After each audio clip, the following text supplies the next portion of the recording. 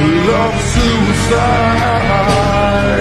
And I'll be better when I'm home.